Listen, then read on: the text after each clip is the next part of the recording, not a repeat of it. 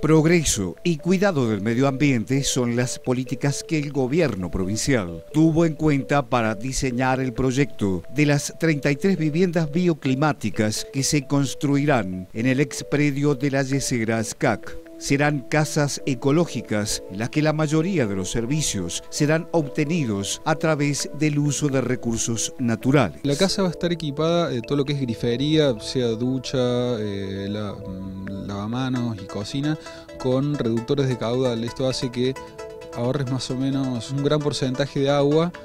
Además va a tener inodoros doble descarga. Tiene dos botones, uno para una descarga de una cantidad de litros y otro por una cantidad mayor de litros. Estas casas van a estar dotadas de placas fotovoltaicas que van a estar inyectando energía a la red a través de un medidor bidireccional. Esto significa que vas a tener un medidor con el que, que te va a marcar lo que vos estás consumiendo de electricidad y ese medidor por otro lado también te va a decir cuánto estás inyectando a la red.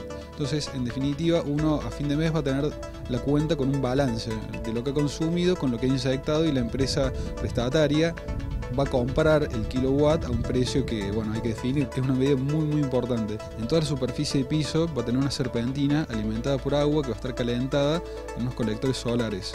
Entonces esta, gente, la gente que vive acá en, invierno no va a tener que gastar prácticamente en gas al estar liberándose desde abajo el calor, es mucho más eficiente también por ese lado.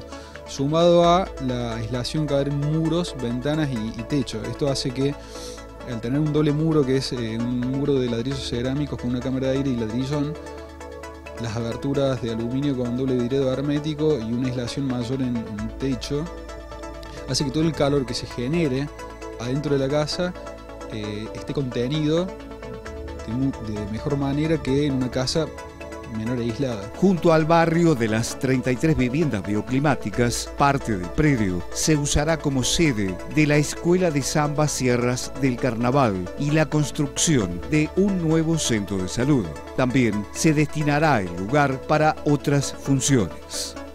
Se le ha dado mucha prioridad al, espacio verde y al espacio público, que es una gran deuda interna en, nuestras ciudades. Entonces de esta manera los chicos van a poder salir de la casa y tener un lugar donde jugar. Se le da a la ciudad un espacio público más. Estamos hablando de que también vamos a reutilizar los, todas estas tortas triangulares de hormigón para darle eh, particularidades a algunas partes de este espacio público generando lugares de, permanencia para que se pueda sentar la gente y que estos, estas perforaciones que tienen estas tortas de hormigón salgan a los árboles de adentro y bueno, hacer que este, que este lugar sea también un poco más lúdico.